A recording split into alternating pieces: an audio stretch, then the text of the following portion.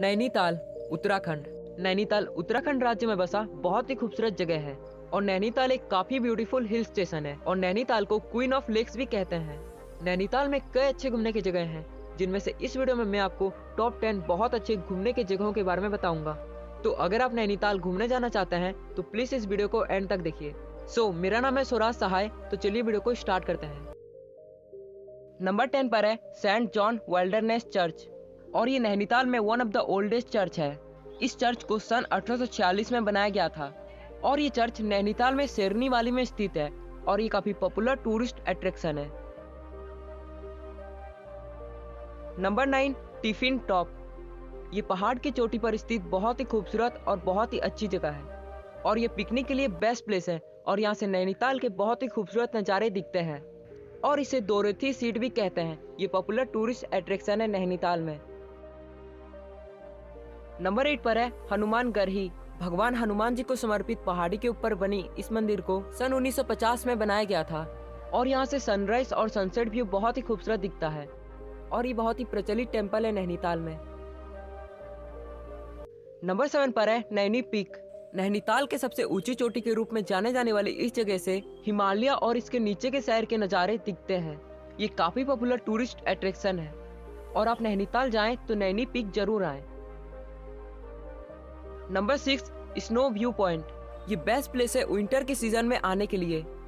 और यहाँ पर आप इजीली केबल कार से आ सकते हैं। और ये बहुत ब्यूटीफुल प्लेस है। और यहाँ से हिमालयन माउंटेन्स भी दिखती है। बढ़ते हैं नेक्स्ट प्लेस की ओर।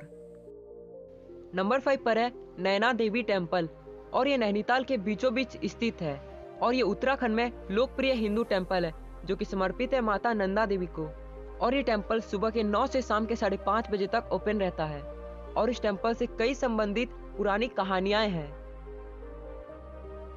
नंबर फोर केव गार्डन और इसे इको केव गार्डन भी कहते हैं। और यहाँ पर आपको टाइगर गुफा पैंथर गुफा जैसे और भी कई गुफाएँ देखने को मिलेंगी। और ये केव गार्डन सुबह के 10 से शाम के साढ़े चार बजे तक ओपन रहता है।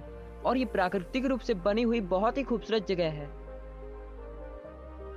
नंबर थ्री पर है हाई एल्टीट्यूड जू इसे सन उन्नीस सौ पंचानबे में लोगों के लिए ओपन किया गया था।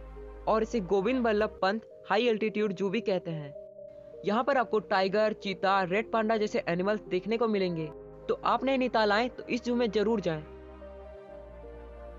नंबर टू पर है मुक्तेश्वर टेंपल और इसे मुक्तेश्वर धाम टेंपल भी कहते हैं।